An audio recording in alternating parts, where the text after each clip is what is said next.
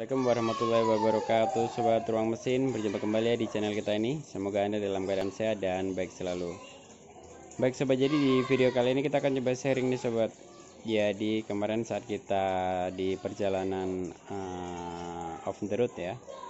Jadi di jalan tanah yang ada batu-batunya gitu Ada bunyi kluk kluk kluk di Sobat di bagian depan kanan. Dan sedikit di kiri. Nah jadi kita nanti akan cek kita sudah analisa kita kemarin juga sudah cek di bagian uh, per-pernya. Di busing-busing per juga aman. Usut punya usut kita ada analisa di sini sobat. Di link stabil. Jadi yang ini sobat link stabil ini dia sudah kocak sobat. Jadi dia saat ada uh, polisi tidur maupun kondisi off the road dia akan kluk kluk kluk gitu sobat. Jadi nanti kita akan coba ganti ini kiri kanan. Baik jadi kronologi awalnya seperti sobat kurang lebih. Jadi saat kemarin kita jalan di setiap polisi tidur atau lubang gitu dia tuh tanda-tanda suara kluk kluknya itu seperti ada di uh, sistem suspensi. Cuman kemarin setelah kita cek bukan dari situ. Jadi ternyata ada kekocakan itu di ball link stabil. Jadi nanti kita akan coba ganti link stabilnya. Kita sudah datang kemarin paketannya link stabil. Jadi seandainya nanti sobat uh, pengen tahu kita pakai link stabil apa dan hari yang terjangkau nanti sobat bisa uh, komen aja di bawah. Oke jadi langkah-langkahnya seperti apa cara penggantinya langsung aja kita bongkar ban dulu. Nanti kita akan uh, terlihat di bagian unit suspensinya dan link stabil jadi nanti uh, sobat bisa simak ya. Oke langsung aja kita buka bannya terlebih dahulu sobat.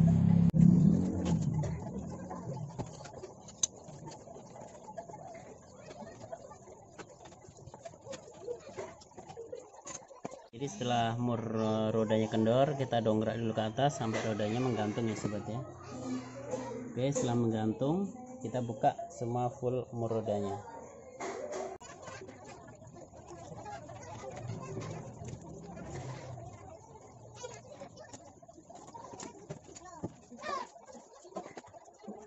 Baik sobat jadi unit uh, area link stabil sudah terlihat. Nah ini dia sobat link stabil kanan tuh ini sobat. Dia terhubung dengan suspensi ke bawah ke stabilizer depan. Uh, sudah bisa terlihat ya sobat ya sampai hancur begini karetnya. Jadi air mudah masuk sehingga menyebabkan kocak sobat. Oke. Selanjutnya kita akan ganti sobat ya.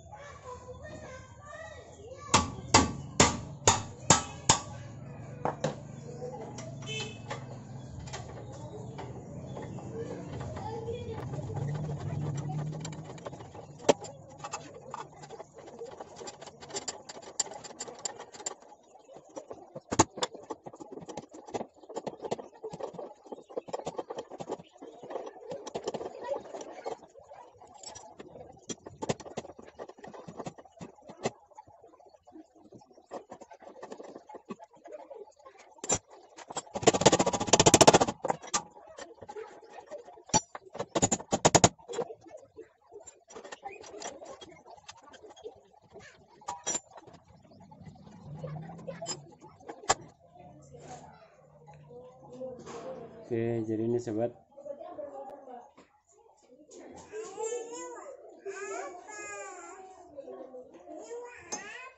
Baik, jadi link stabil sudah terlepas sobat. Jadi karetnya emang sudah hancur, jadi air mudah masuk. Nah, untuk yang atas meskipun hancur, ini masih bagus sobat. Dia belum kocak. Cuman untuk yang bawah, tuh bisa sobat lihat ya. Terdengar suara tuk tuk tuk tuk tuk tuk tuk tuk. Nah ini nanti kalau sampai kabin suaranya jadi kenceng sobat. Jadi tak tak tak tak tak tak. Hmm. oke kita akan coba buka paketnya. Lalu kita akan pasang ya sobat ya. Jadi ini kiri dan kanan nggak ada bedanya sobat sama aja. Oke kita buka uh, link stabil yang baru ya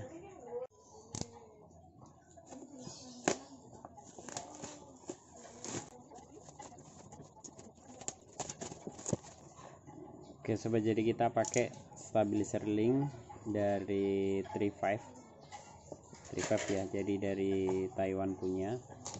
Karena kalau kita ganti pakai orinya harganya lumayan sobat jadi kita pakai yang uh, KW tapi ibaratnya KW juga KW yang KW lumayan ya kalau 35 ya.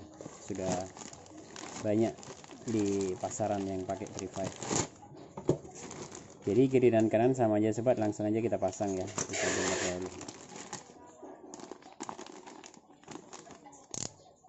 made in Japan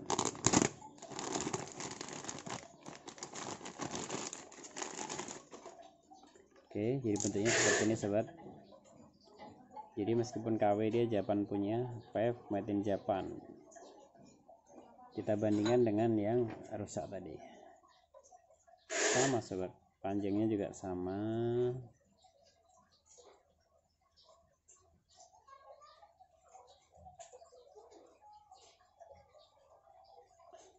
Oke, jadi kalau baru dia tuh masih seret banget sobat. Hmm. Hmm hmm, hmm. nggak ada pecah sama sekali hmm.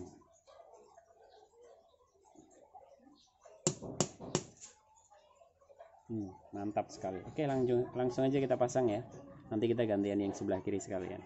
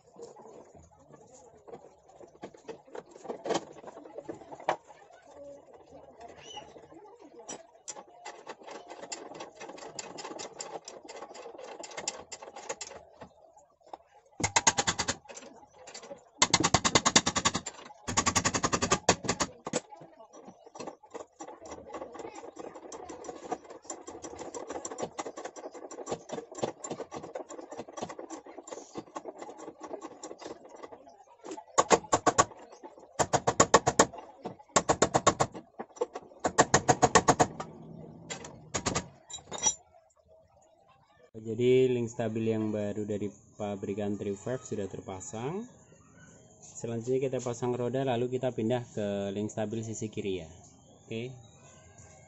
Jadi seandainya ada yang tanya nanti sobat. Jadi bedanya antara link stabil yang ori dengan yang Trifav ini apa sih meskipun Japan ya? Jadi satu yang kelihatan itu adalah di diameter shaft linknya ini sobat. Ya kalau yang ori lebih tebelan sayangnya saya lagi nggak ada kaliper jadi saya nggak bisa ukur nih. Jadi kalau yang ini tuh uh, dari dari visual aja udah kelihatan ya saja tapi bedanya nggak ada nggak ada satu mili nggak ada. Paling 0,5 ini. Oke jadi kurang lebih itu sobat bedanya. Sementara ya untuk uh, test drive-nya belum kita lakukan. Sama ini sobat mur. Jadi murnya kalau yang ori itu dia ada langsung mur ring ya. Tapi nggak ada pengunci tapi dia ada muringnya kalau yang bawaan 35 itu dia ada murlocknya di sini ada murlock teflonnya cuman dia nggak ada ringnya.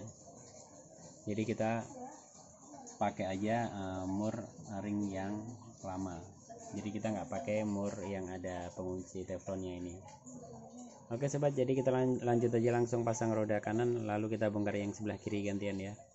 Oke ikuti sobat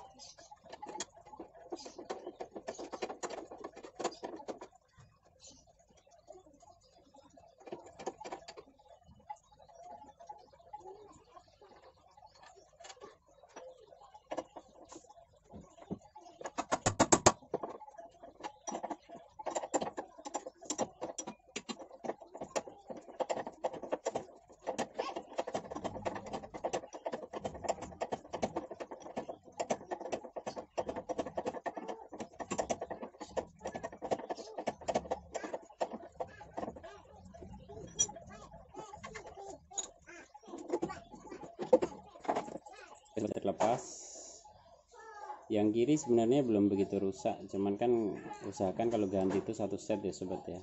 Jadi yang kiri hanya ada kerusakan pada bootnya saja. Cuman ya bagusnya kita ganti semuanya. Karena dia sepasang sobat. Ganti satu ganti semua